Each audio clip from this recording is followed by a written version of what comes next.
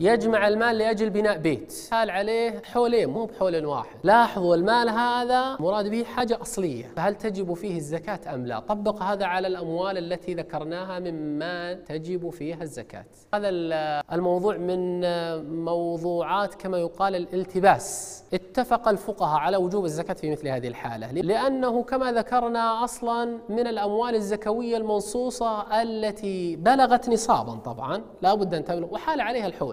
فلا ينظر بعد ذلك إلى الغرض منه لما يكون عنده ذبائك ذهبية. أودع في هذه السبائك ماله لأجل أن إذا مضت سنة أو سنتان باعها فاشترى بها بيتا يسكنه أو ولدا يزوجه. يجب فيها الزكاة بالاتفاق لأن عين المال زكوي. بخلاف عروض التجارة التي عين المال فيها ليس زكويا ولذلك إنما تجب فيها الزكاة بالنية. لو لم ينوي بهذه العروض المتاجرة رجع المال إلى أصله فصار غير زكوي. فلذلك لو شخص مثلا عنده تمر لكن ما شاء الله حوشهم كبير. النصاب بيجينا بالزروع والثمار كم؟ خمسة أوسق. الوسق كم؟ ستون صاعا. الخمسة تساوي ثلاثمائة صاع. الصاع يساوي كيلوين وشيئا. المجموع يساوي 610 تقريبا. 610 كيلو. تفاوت بين 600 إلى 700 تقريب هو. فلو إن شخص كان عنده 800 كيلو عندهم ما هو بيت استراحة. قال والله لا نويت بيع ولا هم يحزنون. حنا بناكل ونهدي